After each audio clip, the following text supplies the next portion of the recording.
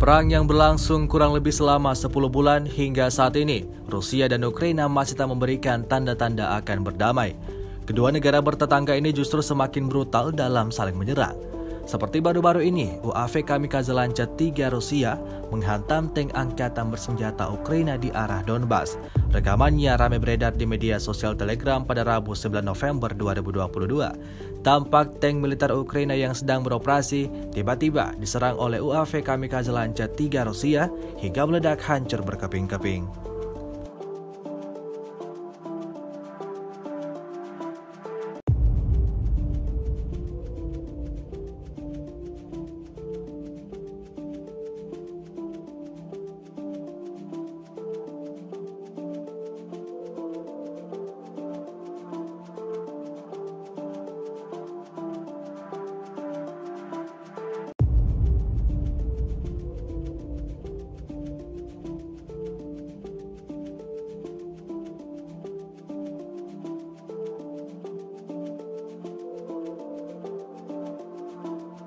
Sejauh ini selama invasi berlangsung Rusia secara total merilis 332 pesawat Ukraina, 171 helikopter dan 2.465 kendaraan udara tak berawak dieliminir oleh pasukan Vladimir Putin.